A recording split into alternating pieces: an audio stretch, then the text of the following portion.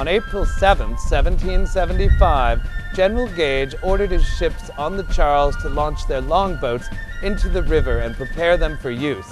This activity did not go unnoticed by the Sons of Liberty.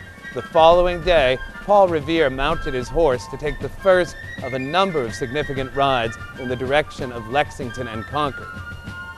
This Day in History brought to you by the Freedom Trail Foundation, partnered with the Massachusetts Teachers Association to bring history to life.